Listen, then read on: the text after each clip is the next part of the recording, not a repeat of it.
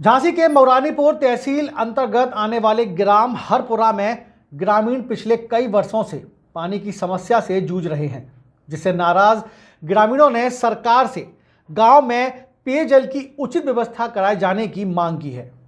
बताया गया है कि गाँव के एक और खेतों में दो प्राइवेट बोर के माध्यम से लोग दैनिक दिनचर्या एवं अन्य जरूरतों के लिए पानी भरते हैं। ग्रामीणों ने बताया कि गाँव में जो भी सरकारी हैंडपंप और कुएँ बने हुए हैं, वो सब सूख चुके हैं। इसके साथ ही गाँव में पीने के पानी के लिए कोई और साधन उपलब्ध नहीं है। जब तक खेतों में फ़सल लगी हुई है, इनमें बोरिंग के माध्यम से ग्रामीणों को पानी प्राप्त हो रहा है। फ़सल कट जाने के बाद ग्रामीणों को पानी के लिए कई किलोमीटर दूर जाकर पानी लाना पड़ता है। ग्रामीणों ने बताया कि जल संकट के चलते न तो बच्चे स्कूल जा पा रहे हैं, न ही लोगों को समय पर अपने गृह कार्यों को निपटाने का समय मिल पा रहा है।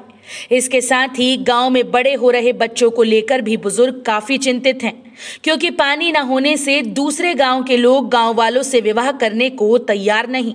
ग्रामीणों ने सरकार से गाँव में पेयजल की उचित व्यवस्था बनाए जाने की मांग की है। पानी की साथ बहुत परेशानी है। मवेशियों के लिए पानी मिलता नहीं है पीने के लाने। दूसरे गाँव से ले आना पड़ता है, हैं? ट्रैक्टर से या गाड़ी बैल से पठा से या अटान से ऐसे ले आना पड़ता है। ना नदी में पानी है, ना इतना पानी पीवे तक कहाँ तो पानी नहीं है। जब सेठ को है, मऊ के अग्रवाल को तो उसे पानी पी गया थोड़ा बहुत, जैसा में लगाओ और वही में लड़ाई होती है तो हम दूर बैठे रहते अच्छा पानी ना होने से क्या क्या समस्याएँ झेलनी पड़ रही हैं? अब पानी की पानी से तो सभी समस्याएँ हैं ही साहब। ना खाना ठिकाने से बन पाऊ ना शादीशुदा कर पाऊ हैं? अब पानी नहीं है तो कुछ नहीं है साहब फ़सल है, सो फ़सल।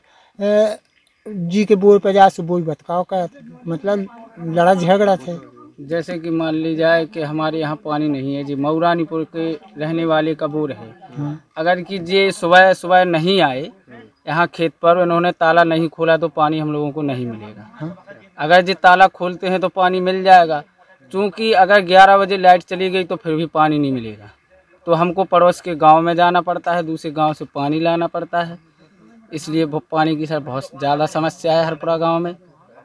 और मान ली जाए कि पानी नहीं मिला तो गाय बैल बछड़ी और हम लोग भी बहुत ज़्यादा परेशान हैं। दिन भर में एक एक डेढ़ डेढ़ लीटर पेट्रोल बार देते हैं गाड़ियों में पानी लाने में। और कुछ कर नहीं सकते पानी के सिवा कुछ होता ही नहीं है। हम लोग भी कुछ एक आदमी परमानेंटली पानी के लिए चाहिए।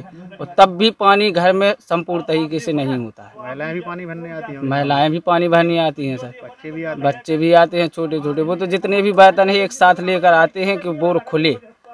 हाँ हमारे जो मऊरानीपुर का जो बोर है, जो खुले तो हम लोग पानी भरें। अगर जो नहीं खुलेगा तो ऐसे ही खड़े रहेंगे गेट पर, पानी की कोई व्यवस्था नहीं है। मऊरानीपुर से रवि परिहार की रिपोर्ट।